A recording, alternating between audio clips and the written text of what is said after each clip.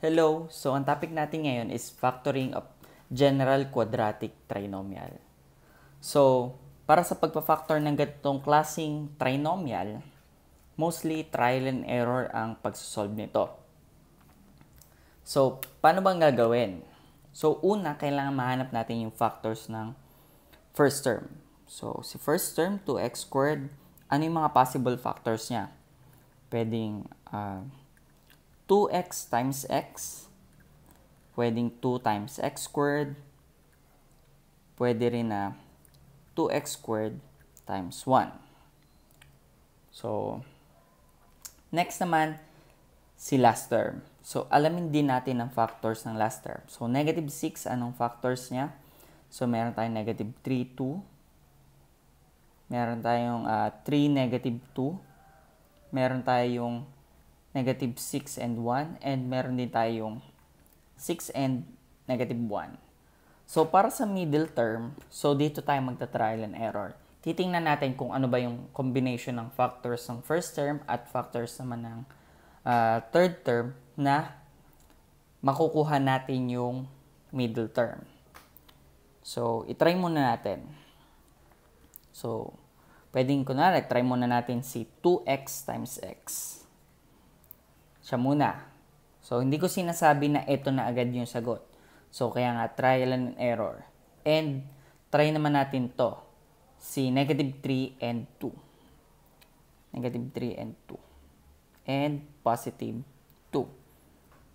So, by FOIL method, so, pero ang gagamitin lang natin sa FOIL method is yung kanyang outer and inner term para mapalabas natin tong middle term. So, Tingnan natin sa outer term, 2x times 2. So, meron tayong positive 4x.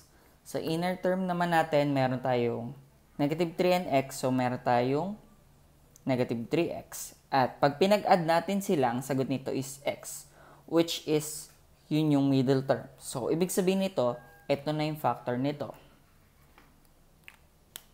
So, try naman natin tong example number 2. 8x squared plus 22x plus 9.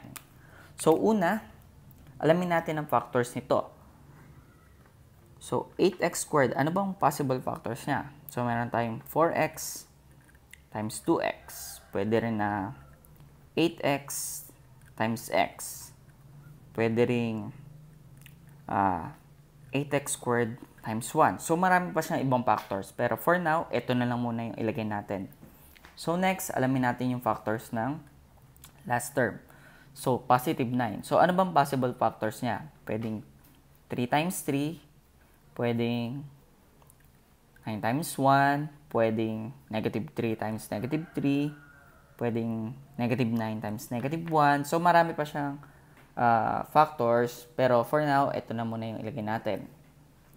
So, ang kailangan na lang natin is yung middle term. So, trial and error tayo.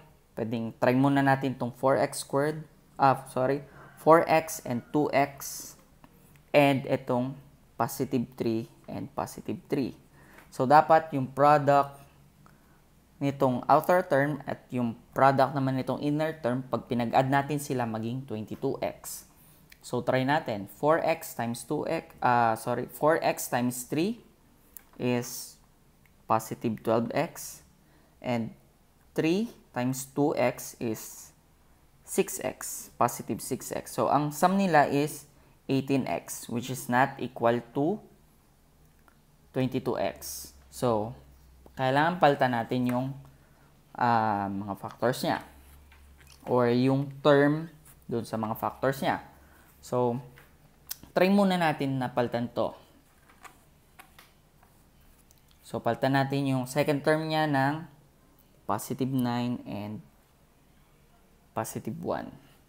So, try ulit natin. 4 times 1 is positive 4. X. So, 4x times... So, try naman natin to. So, 4x times 1 is positive 4x.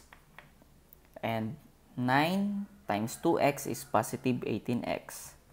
So, ang sagot dito is positive 22x, which is equal dito. So, ibig sabihin, ito na yung kanyang answer. Ito na yung factors ng 8x squared plus 22x plus 9. So, that's all for general quadratic trinomial.